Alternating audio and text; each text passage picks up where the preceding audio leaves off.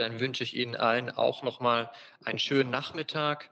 Ich freue mich, dass Sie sich für die Ergebnisse unserer Migrantenstudie interessieren. Ich habe einige Folien dazu vorbereitet, werde diese präsentieren und an der einen oder anderen Stelle Sie eben auch einmal bitten, Ihre eigene Einschätzung abzugeben. Ich selber, ich komme vom Sinus-Institut. Wir sind ein sozialwissenschaftliches Institut, das vor allem den Wertewandel und die Lebenswelten in der Gesellschaft erforscht und eben dann auch auf Basis dessen beratend tätig ist. In unserem heutigen Webinar wollen wir uns mit der Frage beschäftigen, wie Migranten in Deutschland eigentlich leben. Das heißt jetzt mal ganz konkret, wie ihr Alltag aussieht, welche Lebensziele sie verfolgen, welches Identitätsempfinden sie haben inwieweit sie sich als integriert sehen und schließlich natürlich auch, wie Migranten das gesellschaftliche Zusammenleben in Deutschland überhaupt wahrnehmen.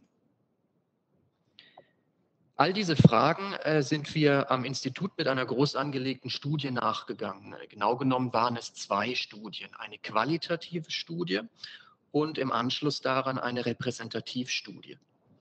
Insgesamt haben wir mehr als 2000 Menschen mit Migrationshintergrund befragt. Und zwar eben nicht nur anhand von Fragebögen, ganz klassisch, wie man es kennt, sondern wir haben zusätzlich auch 160 Tiefeninterviews durchgeführt. Das heißt, wir waren bei den Menschen zu Hause und haben uns ganz frei und offen mit ihnen über die verschiedenen Themenaspekte unterhalten.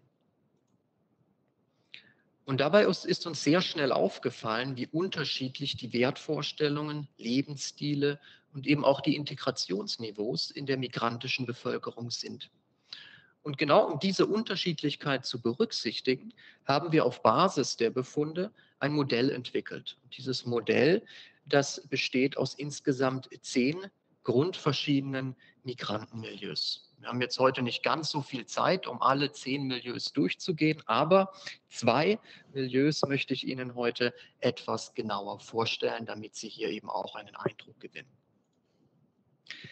Bevor wir aber in die zwei Milieus reingehen, werde ich Ihnen erst einmal ein paar ausgewählte, und zwar milieuübergreifende Ergebnisse der Studie vorstellen. Zunächst sind wir der Frage nachgegangen, wie es eigentlich um die soziale Integration bestellt ist. Unsere Ergebnisse deuten darauf hin, dass die Bereitschaft, sich in Deutschland zu integrieren, in weiten Teilen der Migrantenpopulation stark ausgeprägt ist. Wir sehen hier, 84 Prozent fühlen sich mit Deutschland stark oder sogar sehr stark verbunden. 78 Prozent geben an, sich den Deutschen ziemlich nahe zu fühlen. Ebenfalls 78 Prozent unterhalten sich mit den engsten Freunden nur auf Deutsch, überwiegend auf Deutsch oder teils auf Deutsch. Und 79 Prozent äh, verbringen nach eigener Aussage mindestens einmal in der Woche ihre Freizeit mit Deutschen. Das heißt, ein pauschales Vorurteil, wie man es hier und da einmal hören mag, Menschen mit Migrationshintergrund würden sich nicht integrieren beziehungsweise nicht, sich nicht integrieren wollen, findet hier schon mal keineswegs Bestätigung. Dennoch darf man äh, natürlich auch nicht verschweigen, dass es auf der anderen Seite einen Teil in der migrantischen Bevölkerung mit Integrationsdefiziten gibt. Auch hierzu habe ich einmal ein paar Ergebnisse mitgebracht. Immerhin 21 Prozent betrachten ihr Herkunftsland als ihre eigentliche Heimat. 38 Prozent glauben, dass es für Leute, wie sie heute wenig Chancen gibt, äh, dass es für Leute wie Sie heute wenig Chancen gibt, es zu etwas zu bringen. 15 Prozent haben an ihrem Arbeitsplatz beziehungsweise an Schule, Universität keine Kontakte zu Personen deutscher Herkunft und 19 Prozent fühlen sich manchmal heimatlos, wissen nicht, in welche Kultur sie gehören. An dieser Stelle würde ich gerne Sie einmal um eine erste Einschätzung bitten, auch vor dem Hintergrund dessen, was Sie bis hierhin von mir gehört haben. Wie würden Sie denn ganz allgemein das Zusammenleben von Migranten und Einheimischen bewerten? Was glauben Sie? Sehr gut, eher gut, eher schlecht, sehr schlecht. Genau die gleiche Frage haben wir ähm, gestellt in unserer Untersuchung und ich werde Ihnen dann gleich zeigen nach Ihrer Einschätzung, wie denn die Befragten darauf geantwortet haben. So, Sie bekommen jetzt gleich von mir einen Punkt, den Sie dann bitte entweder neben das jeweilige die äh, Bewertung kleben oder direkt darunter damit man das eindeutig zuordnen kann. Äh, ich wähle jetzt so einen Punkt aus. Der wird anonym vergeben und äh, verteile Ihnen den jetzt. Und Sie brauchen jetzt nur das zu akzeptieren und dann erscheint rechts oben der Punkt, den können Sie dann mit der linken Maustaste packen und auf die Tischmitte ziehen.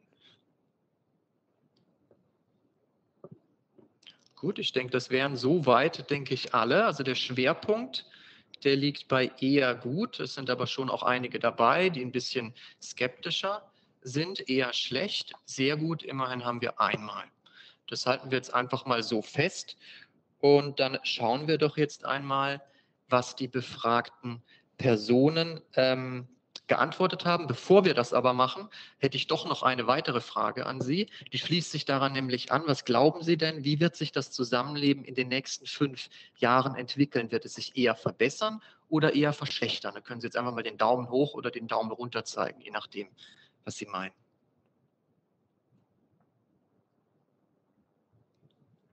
Mhm. Daumen hoch, Daumen hoch. da kommt Einmal ein Fragezeichen. Sehr gut. Ja, natürlich. Der Blick in die Zukunft, so einfach ist es nicht. Aber also insgesamt haben wir hier eher den Daumen hoch. Also was heißt eher? Ganz deutlich den Daumen hoch. Die meisten gehen also davon aus, es wird sich eher verbessern. Okay, dann schauen wir jetzt doch mal, was die Befragten dazu sagen. Wie wir hier sehen können, wird das Zusammenleben zwischen Einheimischen und Migranten überwiegend positiv bewertet. 8 Prozent halten es für sehr gut, 58 Prozent für eher gut. Allerdings, das haben wir auch gefragt, ist jeder Dritte der Meinung, das Zusammenleben habe sich in den letzten Jahren eher verschlechtert oder sogar deutlich verschlechtert. Jetzt stellt sich an dieser ähm, Stelle äh, auch noch die Frage, das haben wir überlegt, wenn sich dieses Zusammenleben verbessern sollte, wer müsste sich denn, ganz provokativ gefragt, an wen stärker anpassen? Die Migranten eher an die Deutschen oder die Deutschen eher an die Migranten? Auch diese Frage haben wir mal gestellt. Und wir sehen hier, dass die meisten Migranten sich selbst in der Pflicht sehen. 81 Prozent meinen, Migranten müssen sich mehr an die Deutschen anpassen. Deutlich weniger, nämlich 37 Prozent sagen, Anpassung müsse von den Deutschen ausgehen. Dann habe ich noch ein letztes Chart zu den allgemeinen Befunden, und zwar mit der Frage, wie häufig sehen sich Migranten mit Diskriminierung konfrontiert. Die Grafik zeigt hier, dass sich die Befragten am häufigsten bei der Arbeitssuche und bei der Wohnungssuche diskriminiert fühlen. Immerhin jeweils jeder Fünfte sieht sich hier sehr häufig oder eher häufig diskriminiert. Soweit zu einigen allgemeinen Befunden der Studie. Fraglich ist jetzt allerdings, wie sich die Befunde darstellen, wenn wir Migranten nicht als eine einzige Gruppe betrachten, sondern berücksichtigen, dass es unter den Migranten eine große Vielfalt von Menschen mit jeweils vollkommen unterschiedlichen Lebenswelten, Wertebildern und eben auch Integrationsniveaus gibt. Wie unterschiedlich dann die Ergebnisse ausfallen, das möchte ich Ihnen jetzt zeigen, indem wir uns einmal zwei Migrantenmilieus herausgreifen, die ich Ihnen dann näher beschreiben werde. Wir beginnen mit dem sogenannten intellektuell-kosmopolitischen Milieu. Wir beschreiben dieses Milieu als erfolgreiche, aufgeklärte Bildungselite mit liberaler Grundhaltung und vielfältigen intellektuellen Interessen. Ich möchte Ihnen hier einmal zeigen, ähm, ein erstes Zitat, was ähm, Menschen, die diesem Milieu angehören, häufig sagen. Wir sehen, dass die Weltoffenheit einfach da ist. Beispielsweise sehen wir das an dem Zitat, bevor ich nach Berlin kam, habe ich in Spanien, in Australien, in Kenia für eine Weile gelebt. Die Ankerwerte in diesem Milieu also Werte, die den Milieuangehörigen besonders wichtig sind, sind Kreativität, Selbstverwirklichung, Leistungsbereitschaft, Toleranz und Weltoffenheit. Dass dieses Milieu postmateriell orientiert ist und vielfältige intellektuelle Interessen hat, zeigt auch ein Blick auf die Wohnbilder. Ich sagte ja eingangs, dass wir eben auch zu den Menschen nach Hause gegangen sind, sie dort befragt haben und wir durften dort eben auch Bilder machen, Fotodokumentation. Wir haben ein großes Bücherregal hier, eine Weltkarte, verschiedene Mitbringsel von ihren Reisen. Deutlich wird hier eben auch, dass ihr eigener Stil oft geprägt ist durch multikulturelle Einflüsse. Ihre Weltoffenheit, ihre Toleranz und ihre kulturellen Interessen spiegeln sich auch direkt in den Ergebnissen unserer Befragungen wider. Ich bin für die Gleichberechtigung der Homosexuellen in unserer Gesellschaft. Diese Aussage stimmt in 91 Prozent der intellektuellen Kosmopoliten zu. Im Durchschnitt aller Befragten, ja, das sehen Sie hier recht bei Gesamt, ähm, sagten das 53 Prozent. Und immer, wenn ich Zeit dazu finde, beschäftige ich mit, mich mit Kultur und Kunst. 70 Prozent Zustimmung bei den intellektuellen Kosmopoliten, nur 36 Prozent im Durchschnitt. Daran erkennt man, was dieses Milieu eben auch ausmacht. Zwei Zitate, die ihre Offenheit und Toleranz weiter bekräftigen. Ein junger Mann beschreibt seinen Freundeskreis als auf jeden Fall bunt gemischt und eine junge Frau betont, ich mache selber für mich keine Trennung zwischen Hautfarbe, Religion, Rasse. Das spielt für mich gar keine Rolle. Für mich ist immer der Mensch im Vordergrund und ich möchte auch, dass die Welt irgendwie so ist, dass das irgendwann mal funktioniert mit uns allen zusammen. Religion hat in diesem Milieu eine eher geringe Bedeutung. In jedem Falle betrachtet man Religion als Privatsache, auch wenn man selbst nicht gläubig ist, nicht unbedingt. Religiöse Toleranz ist den intellektuellen Kosmopoliten wichtig. Auch dazu ein Zitat. Ich persönlich bin jetzt keiner Religion wirklich zugewandt, ich bin eher Atheist. Religion, das tun viel zu viele in den Vordergrund stellen. Aber es hilft auch vielen Menschen, Dinge zu überstehen, gerade wenn sie in misslichen Lagen sind.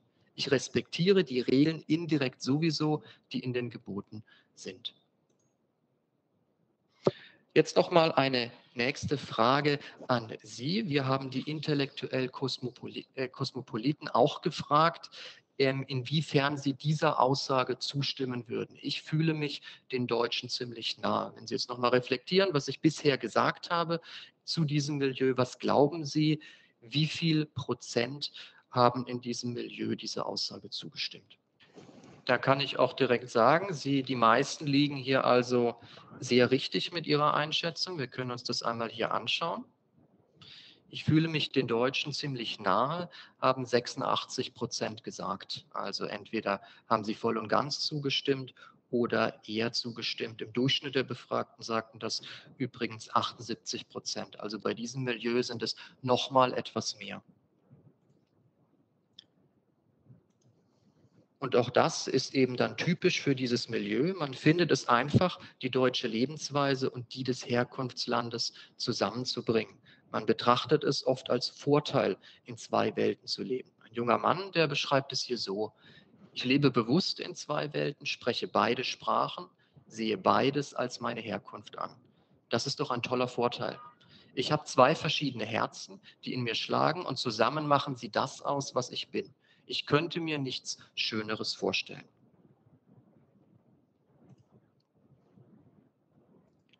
Das hohe Integrationsniveau dieses Milieus zeigt sich unter anderem daran, dass für 36 Prozent Deutsch die Muttersprache ist und für diejenigen, für die das nicht gilt, 64 Prozent meinen, sie hätten sehr gute Deutschkenntnisse. Weiterhin haben 78 Prozent der Milieuangehörigen persönliche Kontakte zu Personen deutscher Herkunft in der Familie. Außerdem pflegen die meisten häufige Freizeitkontakte zu Deutschen. Interessant ist nun auch, dass die Verbundenheit mit Deutschland hier stärker ausgeprägt ist als die Verbundenheit mit dem Herkunftsland. Eine sehr starke Verbundenheit mit Deutschland empfinden 45 Prozent.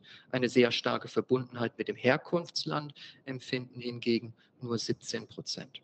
Und das gesellschaftliche Zusammenleben in Deutschland bewerten immerhin 68 Prozent als sehr gut oder eher gut. Also etwa das, was wir auch im Durchschnitt der Befragten gesehen haben. Dabei ist man hier deutlich häufiger der Meinung, dass sich Migranten mehr an die Deutschen anpassen müssten. Das sagen nämlich 84 Prozent. Und dass sich die Deutschen mehr an die Migranten anpassen müssten, das sagen hingegen deutlich weniger, nämlich 32 Prozent. Schließlich noch der Blick auf die Diskriminierungserfahrung. Wenn man sich die Prozentwerte hier anschaut, dann sieht man, die sind vergleichsweise äh, gering. Beim Arbeitsplatz etwa fühlen sich sieben Prozent sehr häufig oder eher häufig diskriminiert. In Gaststätten, Hotels oder Clubs sind es drei Prozent beim Einkaufen, ein Prozent. Also eher niedrige Werte. Die höchsten Werte, wie im Durchschnitt der Befragten auch, haben wir bei der Wohnungssuche und bei der Arbeitssuche. Bei Behörden sind es ebenfalls 13 Prozent. Aber auch das werden wir gleich sehen, wenn wir uns ein anderes Milieu anschauen, sind insgesamt eher geringe Werte.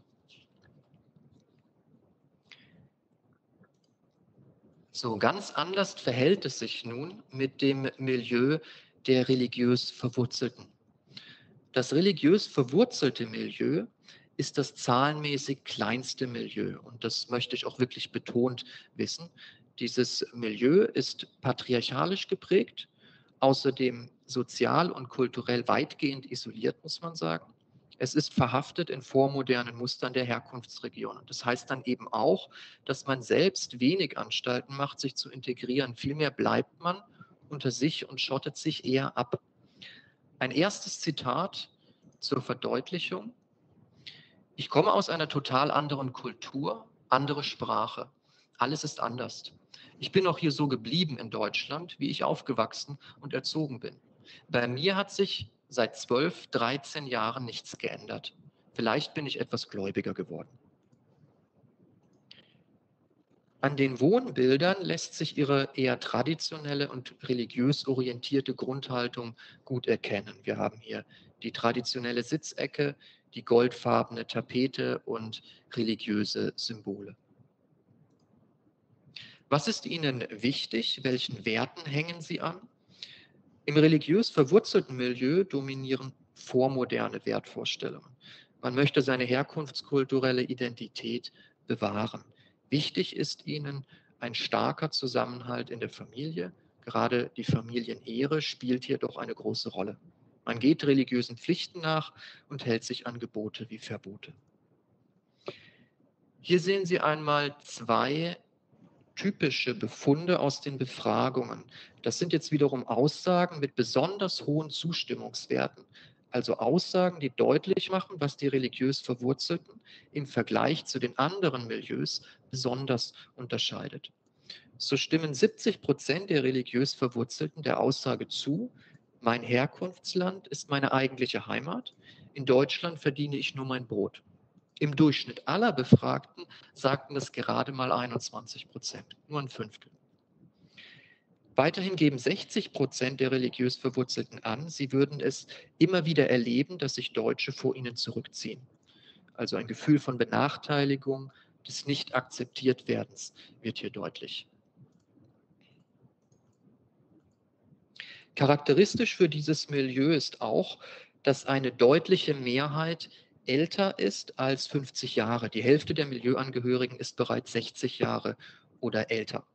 Äh, weitere soziodemografische Merkmale sind ähm, ein niedriges Bildungsniveau, auch ein hoher Anteil von Nichtberufstätigen und ein niedriges Einkommensniveau. Wie man es schon an ihrem Namen vermuten mag, die Religion hat hier eine sehr große Bedeutung. Das zeigt sich auch an der Grafik hier. 44 Prozent sagen, Religion hat für mich eine sehr große Bedeutung. Weitere 36 Prozent sagen, Religion hat für mich eine große Bedeutung. Zwei Zitate, die das untermauern. Ein junger Mann sagt, Religion treibt bei mir alles an, da unsere Religion viele Verbote und Gesetze hat, die man achten soll. Und eine 36-jährige Frau meint, ich trage ja auch Kopftuch. Ich glaube auch an meinen Glauben. Also ich wurde nicht überredet oder ich mache es nicht nur, weil es gewollt wird. Ich glaube ganz fest daran. Jetzt möchte ich zunächst einmal ähm, wiederum Sie fragen, was glauben Sie denn jetzt in diesem Milieu? Wie ist denn hier die Zustimmung auf die Aussage, ich fühle mich den Deutschen ziemlich nah? Und da auch bitte wieder in die Sprechblase schreiben.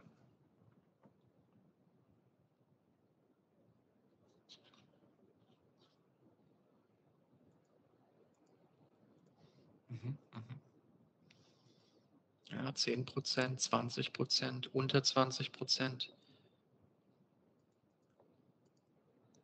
45 Prozent, bisschen mehr.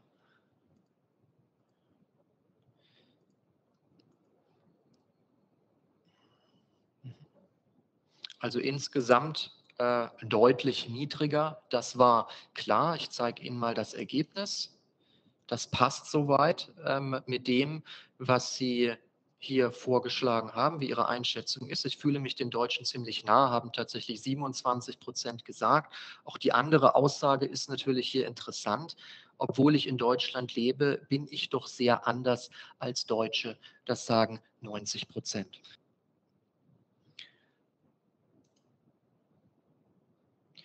Religiös Verwurzelte fühlen sich eben meist eindeutig ihrer Herkunftskultur zugehörig. Das konnte man hier genau oder gut sehen. Man äh, sieht sich selbst weniger als Deutscher. Die deutsche Kultur ist vielen von ihnen auch fremd. Das sagen sie häufig auch so. Auch hier kommt es bei diesem Zitat ganz gut zum Ausdruck. Wir sind keine Deutschen und meine Kultur und meine Religion habe ich beibehalten, so wie meine Eltern das mir weitergegeben haben. Und ich versuche, das auch meinen Kindern weiterzugeben. Wir sind nun mal keine Deutschen, wir sind nun mal Türken. Mit Blick auf die soziale Integration lässt sich zunächst festhalten, dass nur für ein Prozent der religiös Verwurzelten Deutsch die Muttersprache ist und nur fünf Prozent angegeben haben, sie hätten sehr gute Deutschkenntnisse. Weiterhin haben vergleichsweise wenige Milieuangehörige persönliche Kontakte zu Personen deutscher Herkunft in der Familie oder in der Verwandtschaft. Außerdem pflegt man kaum Freizeitkontakte mit Deutschen. Oft ist es auch so, dass sich Segregationstendenzen ausmachen lassen. Religiös Verwurzelte kapseln sich doch oft ab und sind weniger bereit, sich anzupassen. Nur ein Bruchteil von einem Prozent fühlt sich sehr stark mit Deutschland verbunden. Im Gegensatz dazu sind es 56 Prozent, die hervorheben, sich sehr stark mit ihrem Herkunftsland verbunden zu fühlen. Das gesellschaftliche Zusammenleben wird zu 36 Prozent als sehr gut oder eher gut beurteilt. Im Durchschnitt der Befragten, hier sehen Sie es noch einmal, hatten wir 66 Prozent, also auch hier wieder ein deutlich niedrigerer Wert. Dabei sieht man jetzt als einziges Milieu hier, dass äh, die deutsche, ähm, dass dieses Milieu die deutsche Bevölkerung stärker in die Pflicht nimmt, wenn es um das Zusammenleben geht, als die, Migrant, ähm, als die migrantische Bevölkerung. 59 Prozent sind hier der Ansicht, die Deutschen müssen sich mehr an die Migranten anpassen. Etwas weniger eben, dass sich die Migranten mehr an die Deutschen anpassen müssen. Und hinzu kommt, wenn wir auch diesen letzten Punkt uns nochmal anschauen, Diskriminierungserfahrung, das sehen wir hier, wir haben doch in allen Punkten deutlich höhere Prozentwerte bei der Wohnungssuche, sagt sogar jeder Zweite, er fühle sich sehr häufig oder eher häufig diskriminiert. Aber auch sonst ähm, am Arbeitsplatz 24 Prozent. Das sind insgesamt einfach doch sehr hohe Werte, gerade wenn man es vergleicht mit dem, was wir zuvor gesehen haben, bei den intellektuellen Kosmopoliten. Auch hierzu habe ich noch ein letztes Zitat, das das nochmal deutlich zum Ausdruck bringt. Aber diese Öffentlichkeit, wenn alle gucken, das ist das Unangenehme. Und die sprechen dann immer gleich. O Kopftuch, ihr blöden Ausländer, geht in euer Land. Die sprechen immer als allererstes das Kopftuch an. Okay, damit habe ich jetzt einmal zwei von insgesamt zehn Migrantenmilieus in aller Kürze natürlich vorgestellt. Das ist wirklich nur ein ganz kleiner Auszug. Mir war es aber einfach mal besonders wichtig, ähm, Ihnen aufzuzeigen, wie unterschiedlich die Wertvorstellungen, Lebensstile und eben auch die Integrationsniveaus in der migrantischen Bevölkerung sind. Und ich möchte es nochmal betonen, dass das Milieu äh, der religiös Verwurzelten klar das zahlenmäßig kleinste Milieu darstellt. Wir haben ja ähm, die äh, dieses Modell quantifiziert und deswegen habe ich jetzt hier am Ende auch mal noch die Prozentwerte hinzugefügt. Das ist also, dass äh, wir haben hier 6,5 Prozent, wenn wir die migrantische ähm, Population ähm, nehmen als Grundgesamtheit und das ist natürlich deutlich weniger, wenn Sie alle anderen Milieus im Vergleich dazu sehen.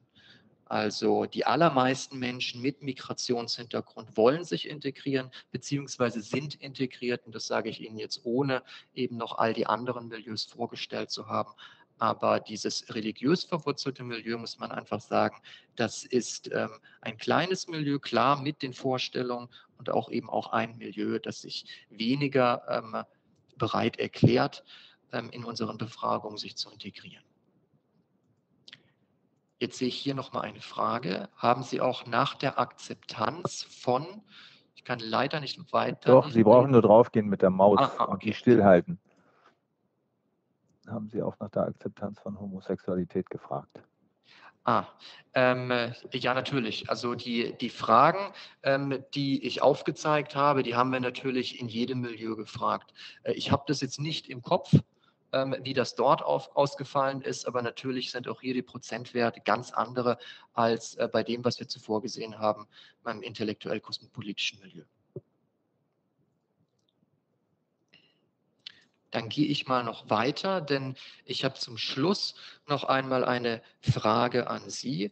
Mich würde jetzt mal interessieren, wo Sie denn die größten Herausforderungen, aber auch Chancen der Migration sehen wenn Sie jetzt all das, was ich Ihnen jetzt erläutert habe, aber auch ganz unabhängig davon, wie Ihr Eindruck so ist, wenn Sie das reflektieren, was glauben Sie, wo liegen da die Herausforderungen, wo liegen da die Chancen der Migration? Sie bekommen jetzt dafür von mir äh, Karten, die Sie ausfüllen und auf die Tischmitte ziehen können. Die Karten werden auch anonym sein, sodass jetzt da keiner namentlich erwähnt wird, der was geschrieben hat. Vielleicht können wir ähm, mal, um es noch deutlicher zu machen, alles, was Sie als Chance sehen, ähm, in, in grüner Farbe, also mit, mit einer Grünkarte und alles, was Sie als äh, Herausforderung nehmen, als rote Karte nehmen. Und ich äh, erkläre Ihnen gleich, wie das geht. Ähm, Sie bekommen mal drei Karten, die ist offen, die ist anonym, das stimmt. Und ich teile Ihnen jetzt diese Karte aus. Sie können jetzt auf Karten bearbeiten klicken und dann sehen Sie auf der rechten Seite diese Karten. Und wenn Sie die Karte äh, auf den Bleistift, der oben rechts an jeder Karte ist, wenn Sie da draufklicken, dann dreht sich die Karte und dann können Sie die Farbe wählen. Dann können Sie einmal rot oder einmal grün wählen und dann sie wieder umdrehen und dann können Sie sie befüllen und dann auf die Tischmitte ziehen.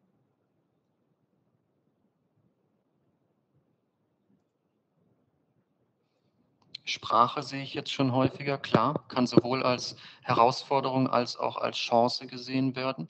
Sprache ist natürlich der Türöffner. Sprachqualifizierung natürlich.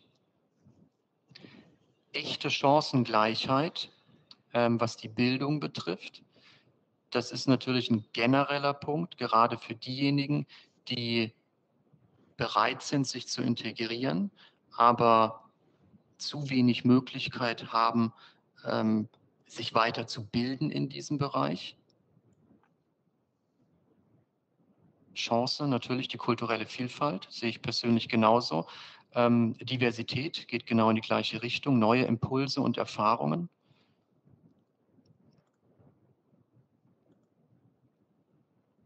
Jetzt kommt ganz viel, da komme ich gar nicht hinterher. sind ja nicht Welt, Weltoffenheit, Weltoffenheit in der äh, Weltoffenheit, genau. Also das, das passt ja natürlich genau zu dem, was wir bei den intellektuell Kosmopoliten bereits haben. Die bringen genau das mit rein. Ideenaustausch. Jetzt gehe ich nochmal auf die Herausforderungen. Politische Partizipation ist natürlich auch ein Punkt, der wichtig ist für ein höheres Integrationsniveau im Allgemeinen. Gefahr der Parallelgesellschaften, das haben wir natürlich in dem Milieu der religiös Verwurzelten. In der Tat, das muss man einfach auch äh, deutlich so aussprechen, klar. Ein Rechtsrutsch in der Bevölkerung, das geht damit einher, wenn zu wenig gesehen wird, dass äh, dieser Teil der migrantischen Bevölkerung, der sich weniger bereit erklärt, sich zu integrieren, ähm, als, als, zu, als viel zu groß wahrgenommen wird. Denn das war ja einer der Punkte, die ich schon am Anfang versucht habe zu erläutern. Das ist ein ganz kleiner Teil. Die allermeisten Menschen mit Migrationshintergrund sind bereits integriert und äh, wenn nicht, dann wollen sie sich integrieren.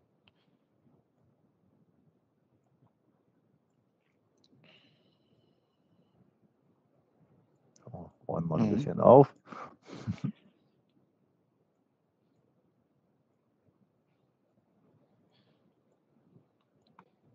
Mhm. Globaler politischer Rechtsruck. Ja, das betrifft natürlich nicht nur ähm, die Entwicklung, die wir hier in Deutschland haben, sondern man muss es europaweit, man muss es global sehen. Da kommt die Frage, wie definieren Sie die ja. Integration?